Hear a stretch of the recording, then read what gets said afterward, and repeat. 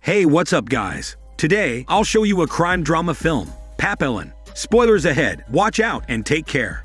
Around the year 1931, in Paris, a man named Papillon, who is a safecracker, steals from a safe box. He goes out from the window as soon as he's done and heads to a party where inside a room, a couple of men punish someone using violence. Papillon is outside waiting for a woman, the same bar girl who's dancing inside the party to entertain men. Papillon gives the bar girl jewelry from what he stole. The bar girl is about to go back in, as someone does not want her to leave early. Papillon stops her and invites her to have some fun. An unknown suspicious man sees the couple and the jewelry in the woman's hand. Oblivious to the man, Papillon and the bar girl spend a fantastic but fast hormone night with one another.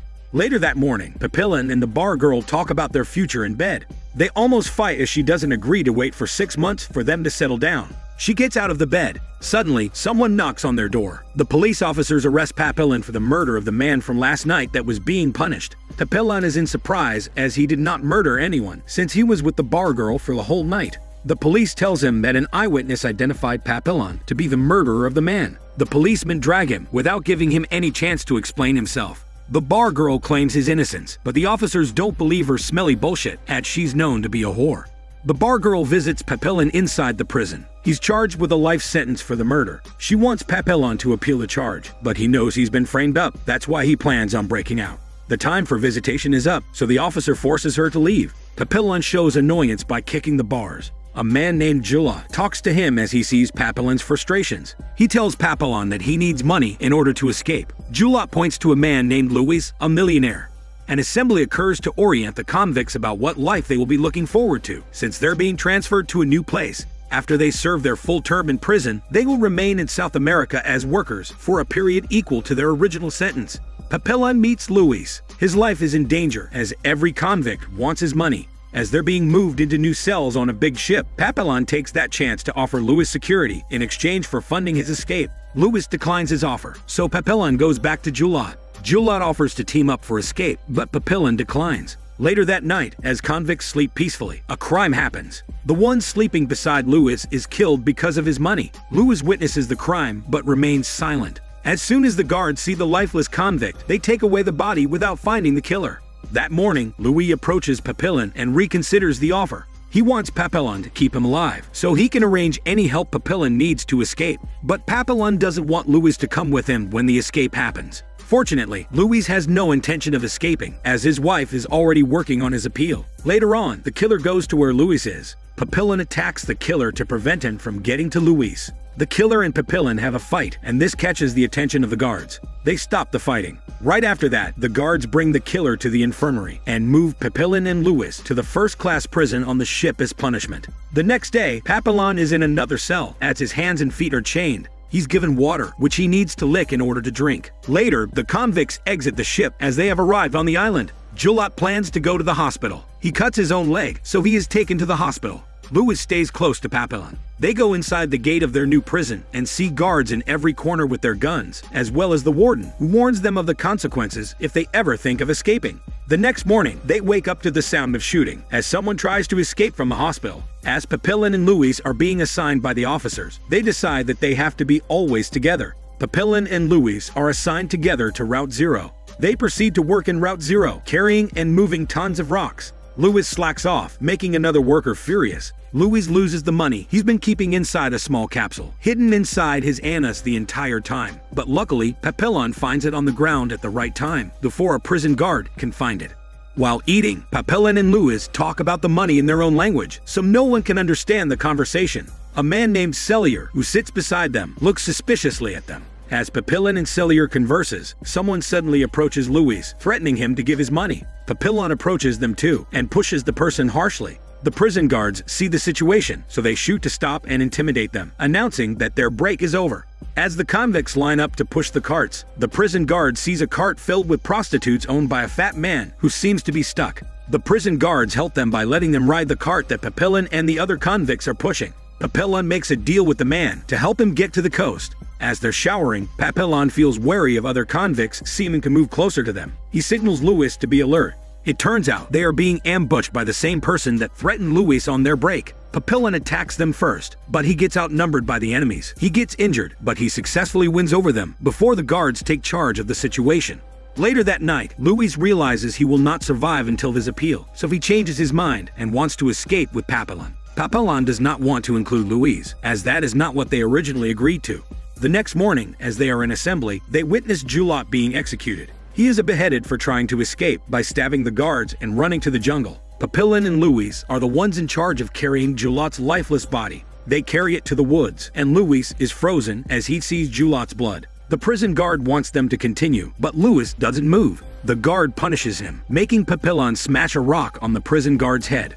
Louis is left behind, and Papillon uses this as an opportunity to escape and run to the jungle. The other guards see him running, so they start shooting in Papillon's direction. Papillon manages to go to the river where he jumps in. He's having a hard time because of his injury, but he still continues to swim. Louis is taken back to the prison. Night comes, and Papillon manages to go where the man he made a deal with. The man is seen there with his boat, but Papillon doesn't have money as Louis isn't there with him, so he promises to pay the man once he goes back to Paris. It turns out the fat man is a traitor. The guards are already behind Papillon, ready to capture him. This implies that even if Papillon has money, the man will still turn him in, since the warden will pay him double their deal. Papillon surrenders and is sent back to prison. The warden orders to transfer him to the island of St. Joseph, where he'll spend the next two years. They put Papillon there, where there's nothing but silence. The four corners are all walls, and the only source of light will come from above. Morning comes. He peeps in the small opening on the door, where prisoners receive the food. He is given nothing but soup as both his food and drink.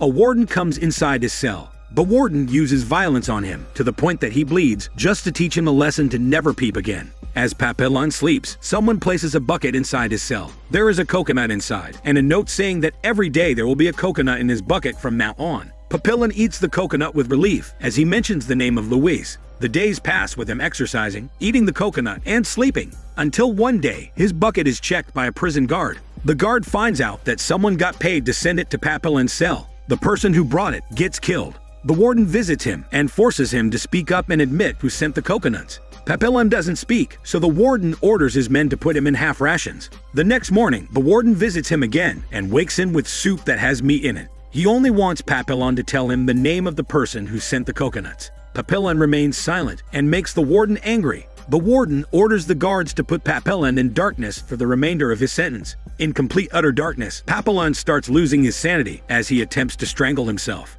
He hallucinates a safe and tries to open it, but it does not. He slams his hand in frustration. Still hallucinating, Louis as a mime appears and talks to him, saying that this is a good escape. The scene shifts and shows that he is still in the dark cell, as he imagines the safe opening on its own. This probably helps Papillon to keep himself sane. Two years later, Papillon is pulled from his cell as his sentence is already finished. Louis is seen writing his name on a desk when the warden pats him on the shoulder and smiles.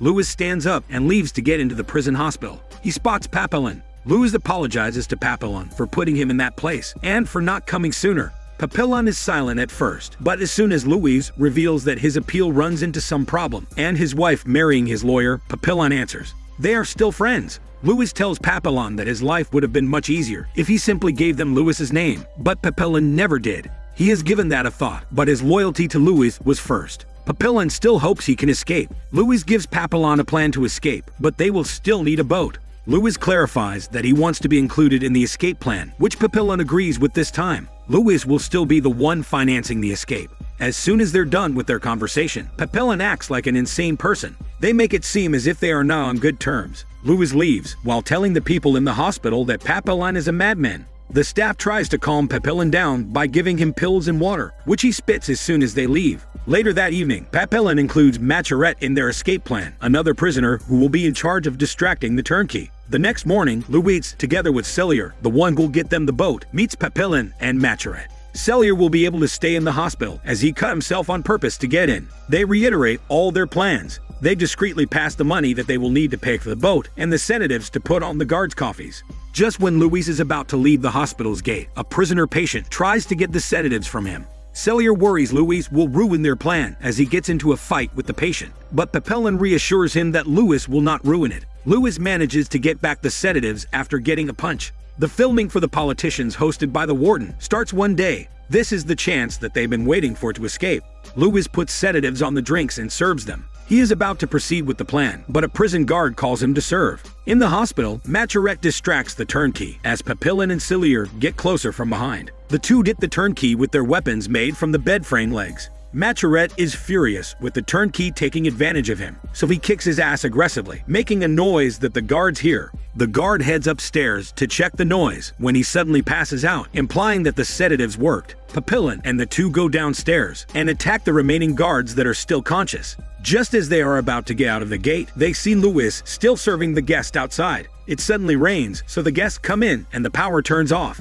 They are in a dilemma about whether to go or wait for Louis as he is still outside. Papillon persistently waits for Louis, but the other two want to go already. Just in time, Louis arrives with the keys he stole. They'll be moving in the dark, so no one will see them. The four proceed on their way out. They need to jump to escape. All three manage to jump, except for Louis. As he is about to jump, the lights turn on. They rush him so that he will not be seen. He jumps and lands awfully, resulting in him having broken legs. Cellier wants to leave Louis, but Papillon still insists they have to include him as he has the money. They run and move to get into their boat. On their way there, the same traitor who busted Papillon when he first escaped stops them with his gun. He also has his men with guns, stopping the escape of the four. Luckily, the man Cellier hired to get the boat comes in and paves their way out, though they have to pay him. They manage to get on the boat and sail. As they're already in the middle of the ocean, they realize that they have to lighten their weight as the boat cannot handle it. Cellier suggests Louis get out of the boat as he will not survive any longer, but Papillon doesn't want to sacrifice anyone.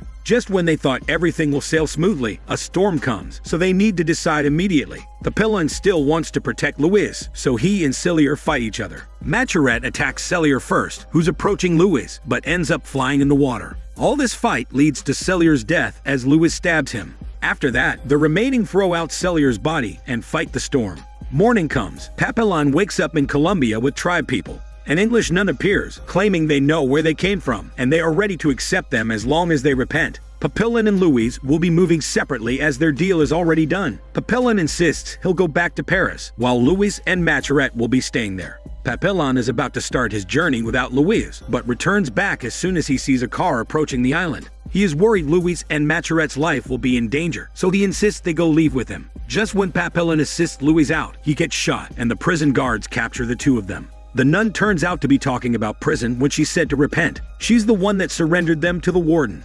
Five years later, Papillon is still in prison and is about to be moved to the Devil's Island. He is welcomed by odd people, searching for food from him. There he meets Louis. It turns out the wardens straight out put Louis on the Devil's Island. Louis guides Papillon on the Devil's Island.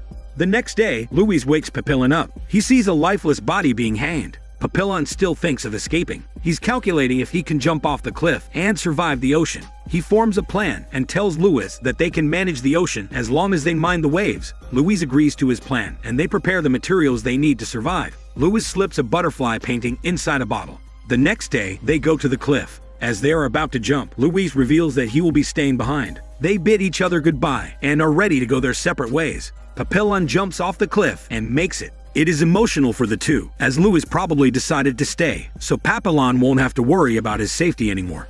The films end with Papillon returning back to France in 1969. He risks coming back despite still being wanted, in order for his memoir to be published in France. The butterfly that Louis drew is in there. Papillon wrote everything he knew and everything that had happened when he was serving in prison. When asked if it is Papillon's story, he answers that is the story of a lot of men, probably pertaining to all prisoners who go through the same suffering. In the end, after learning his story, France decides to allow him to return home, and for the remainder of his life, he lives as a free man. This is Daniel CC Movie Channel. Stay safe and enjoy your day.